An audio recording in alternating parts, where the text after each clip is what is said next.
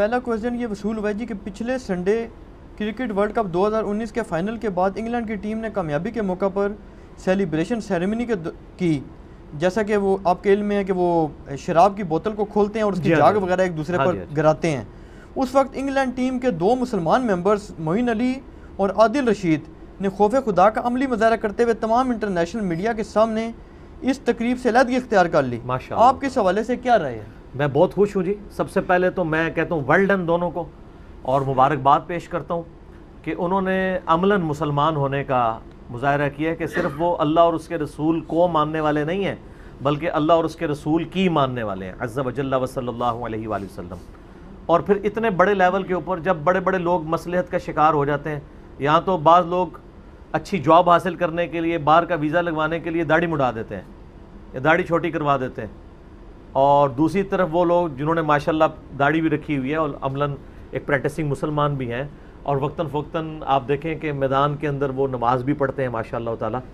یہ بہت بڑا موقع تھا۔ ظاہر ہے کہ انگلینڈ کی ہسٹری میں اس سے بڑا کوئی ایونٹ نہیں آ سکتا کہ وہ کرکٹ جس کا بانی انگلینڈ ہے، جن کو آج تک کبھی کامیابی حاصل نہیں ہوئی تھی، کتنے وہ فائنل میچ ہار چکے ہوئے تھے۔ آپ بتائیں آسٹریلیا سے بھی فائنل ایک دفعہ ہارے، ایک دفعہ پاکستان سے ہار گئے، ایک دفعہ ویسٹ انڈیز سے ہار گئے۔ تو اس وقت یعنی پریکٹیکلی ہماری ہمدردیاں تو نیوزی لینڈ اور انگلینڈ دونوں کے ساتھ تھیں، کیونکہ نیوزی لینڈ بھی کئی دفعہ ہمارے ہاتھوں ہارا ہوا ہے سیمی فائنل کے اندر۔ پچھلی دفعہ فائنل آسٹریلیا سے ہار گئے تھے۔ تو پھر میں نے نا، میں آپ کو پتہ ہے، علمی بندہ ہوں۔ میچ سے پہلے نا مجھے میری وائف پوچھتی ہے، کس کے ساتھ ہو؟ میں نے کہا جی دلی طور پہ تو میں نیوزی لینڈ کے ساتھ ہوں، لیکن علمی طور پہ میں انگلینڈ کے ساتھ ہوں۔ تو کہنے لگی، کیوں؟ میں نے کہا، اس لیے کہ انگلینڈ والے نا کافی دفعہ ورلڈ کپ کے فائنل میں پہنچے ہیں۔ نیوزی لینڈ تو ایک فائنل ہارا ہوا ہے۔ انگلینڈ جو ہے کم از کم تین فائنل تو مجھے یاد ہے کہ وہ ہارے ہوئے ہیں۔ تو علمی طور پہ ان کا حق ہے کہ یہ جیتے۔ تو اس لیے چونکہ میں علم کا ہوں تو میں جذبات کو پیچھے رکھ دیتا ہوں۔ تو بہرحال وہ اللہ نے جتایا ہے۔ باقی تو نیوزی لینڈ کا رہا تو بھاری تھا۔ باقی ہم اس کی طرف واپس آتے ہیں۔ یہ جو ہمارے بھائی ہیں معین علی اور دوسرے عادل رشید۔ میں ان کے لیے دل سے دعا دعا گو ہوں کہ اللہ تعالیٰ اس ایک نیکی کی برکت سے قیامت والے دن ان کے لیے عافیت کا معاملہ فرمائے۔ کیونکہ اللہ تعالیٰ بعض اوقات ایک چھوٹی سی نیکی کوئی بہت بڑا یعنی بنا دیتا ہے۔ بخاری اور مسلم دونوں میں حدیث ہے۔ میں ان کے حوالے سے بیان نہیں کر رہا ویسے ایک ایگزامپل کے طور پہ کہ ایک جو ہے وہ بدکار عورت تھی وہ ایک راستے پہ جا رہی تھی تو راستے میں اس نے ایک کتے کو پیاسا دیکھا تو اس نے اپنے پاؤں کا موزہ چمڑے کا اتار کے تو کنویں سے پانی بھر کے اس کو پلا دیا۔ اللہ کے محبوب صلی اللہ علیہ وآلہ وسلم فرماتے ہیں، اللہ نے اس ایک عمل کی برکت سے اس کی بخشش فرما دی۔ لیکن اس سے کوئی یہ پلی نہ لے کہ بھئی انسان کو بس اس طرح کی نیکیاں کرنی چاہیے اور بدکاری کی زندگی گزارنی۔ یہ ایک واقعہ ہے اللہ کی رحمت کی انٹینسٹی کو بتانے کے لیے۔ بالکل اس کا اپوزٹ واقعہ بھی ہے۔ وہ بھی بخاری اور مسلم دونوں میں ہے کہ نبی رسنا فرمایا، ایک بڑی نیکوکار عورت تھی۔ اس نے بلی پالی ہوئی تھی۔ اس نے بلی کو بھوکا اور پیاسا رکھا حتیٰ کہ مر گئی۔ اس کی وجہ سے وہ عورت دوزخ میں ہے۔ حالانکہ اس کی کتنی نیکیاں بھی تھیں۔ تو اللہ تعالیٰ اگر چھوٹی سی نیکی پہ بخش سکتا ہے تو چھوٹے سے گناہ پہ پکڑ بھی سکتا ہے۔ یہ دونوں رزلٹ نکالنے چاہیے، دونوں ایکسٹریمز پہ نہیں جانا چاہیے۔ باقی ان کا تو معاملہ یہ تو ماشاءاللہ میرا اس نے زن ہے کہ پریکٹسنگ مسلمان ہے۔ اور انہوں نے اس دلیری کا مظاہرہ کیا ہے جو بڑے بڑے سو کارڈ دین کے جو ٹھیکیدار بنے ہوئے نا، ان سے بھی نہیں ہوتی۔ انہوں نے دیکھیں پریکٹیکلی اس کا ثبوت دیا ہے۔ پورے انٹرنیشنل میڈیا میں وہ بات ہائی لائٹ ہوئی ہے۔ کروڑوں لوگوں تک ان کے پریکٹیکل عمل سے اسلام کی دعوت پہنچی ہے کہ Islam is the only practicing religion on the face of earth صحیح معنوں میں پریکٹسنگ ریلیجن اس وقت اس روئے ارض پہ اسلام ہے۔ الحمدللہ۔ تو میں مبارکباد پیش کرتا ہوں، ان کے لیے دعا گو ہوں کہ اللہ تعالیٰ اس نیکی کی برکت سے ان کے ساتھ قیامت دن عافیت والا معاملہ فرمائے۔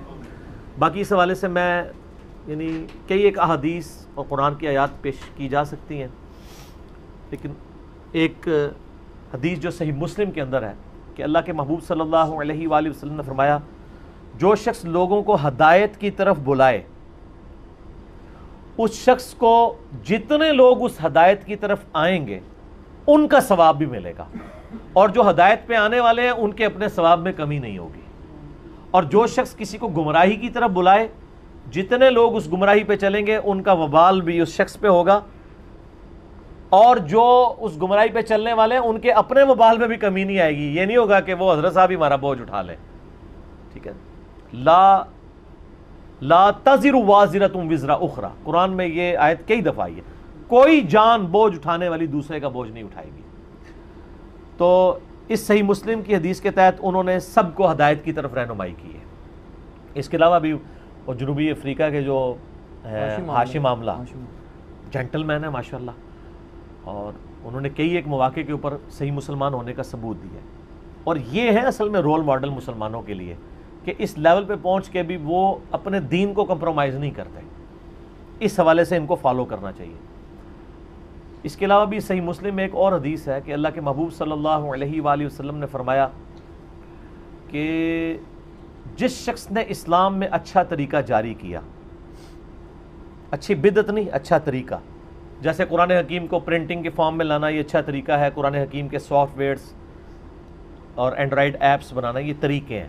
اصل قرآن تو اپنی جگہ ہے الیکٹرانک کاؤنٹر تو وہ جتنے لوگ اس پہ عمل کریں گے، اس کا ثواب بھی ان کو ملے گا، ان کے ثواب میں کمی نہیں آئے گی۔ اور جس نے اسلام میں برا طریقہ جاری کیا سنتن حسنتن اور سنتن سیئتن برا طریقہ جاری کیا، تو جتنے لوگ اس پہ عمل کریں گے، اس کا وبال، اس پہ ہوگا اور ان کے وبال میں بھی کمی نہیں آئے گی۔ ان دونوں احادیث کے تحت انہوں نے ایک اچھا طریقہ اور ہدایت کی طرف لوگوں کی رہنمائی کی ہے۔ باقی لوگوں کے لیے ایک موٹیویشن ان کی بڑھانے کے لیے بہت زبردست عمل ہے۔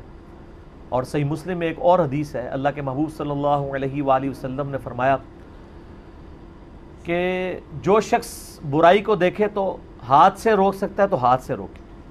ہاتھ سے نہیں روک سکتا تو کم از کم زبان سے روکے۔ زبان سے نہیں روک سکتا تو کم از کم دل میں تو برا جانے۔ لیکن فرمایا، ذالک اضعف الایمان، یہ ایمان کا آخری درجہ ہے۔ یعنی کم از کم زبان سے روکنا چاہیے۔ تو انہوں نے دل میں برا نہیں جانا، بلکہ زبان حال سے پریکٹیکلی الگ ہو کے یہ میسج دیا اور یہاں پہ میں جان کی امان پاؤں اگر مسلمانوں سے تو عرض کروں کہ گوروں کو بھی سلام ہے سر۔ انہوں نے اس چیز کو نیگیٹیولی پورٹریٹ نہیں کیا۔ اپریشیٹ کیا۔ وہ اگر کہتے ہیں نا، ہمیں فریڈم آف ایکسپریشن کا رائٹ ہے، ہمیں اپنی زندگی گزارنے کا رائٹ ہے، تو وہ ایک دیندار بندے کو بھی حق دیتے ہیں کہ وہ بھی اپنی زندگی گزار سکتا ہے۔ ورنہ وہ شوکاز نوٹس دے سکتے تھے کہ آپ ٹیم سے الگ کیوں ہو گئے جی اس وقت؟ آپ نے جو ہے وہ انگلینڈ کی کرکٹ کونسل کے رولز کی وائلیشن کر دی آپ نے فلاں کر دیا آپ نے یہ کر دیا۔ ان کا نہیں جس طرح ہمارا حق ہے ان کا بھی حق ہے۔ تو سر یہ گورے کو آپ اپریشیٹ بھی کریں اس معاملے میں۔ ٹھیک ہے؟ اور پھر ماشاءاللہ آپ دیکھیں ہمارے وہ پاکستان کے امپائر بھی تھے علیم ڈار صاحب۔ جی۔ ہاں ماشاء اللہ تعالیٰ۔ تو آپ دیکھ لیں وہاں پہ ٹیلنٹ کی قدر ہے۔ ان کو اس سے نہیں ہے کہ یار تو نے امپائر بننا ہے تو داڑھی چھوٹی کرا دے۔ یا تو نے ہماری کرکٹ ٹیم میں کھیلنا ہے تو داڑھی منڈوا دو یا داڑھی چھوٹی کروا دو۔ ٹیلنٹ کی قدر کرنا یا اپنا ریلیجن بدل لو۔ ابھی تو اس وقت میرے خیال ہے آلموسٹ ساری بڑی بڑی ٹیموں میں مسلمان موجود ہیں۔ پہلے تو صرف انڈیا کی ٹیم میں ہوتے تھے نا۔ یعنی پاکستان، بنگلہ دیش کے علاوہ میں بات کر رہا ہوں۔ ان نان مسلم ملکوں کی ٹیمز میں۔